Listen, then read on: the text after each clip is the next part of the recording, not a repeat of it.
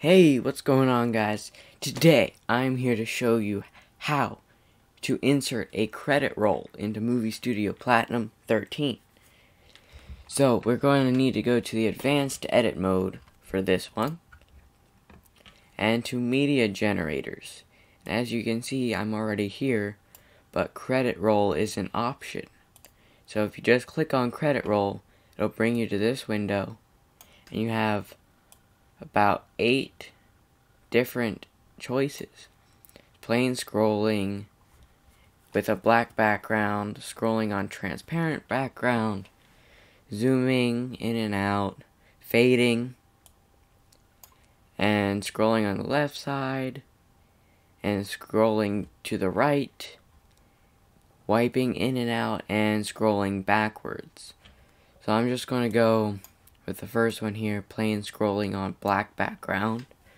I'll drag that into the text track. And basically, all you have to do to change the text is click on these and press backspace.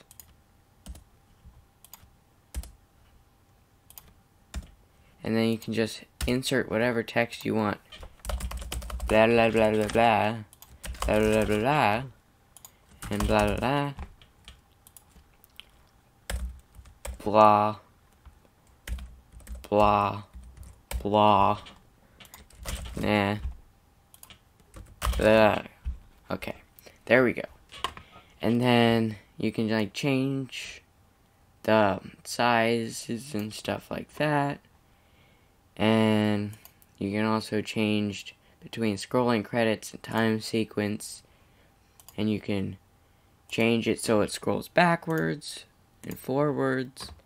Can change the distance between sides precisely right here.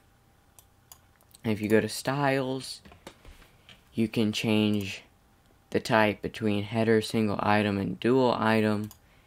And you can change the font, font size, text color.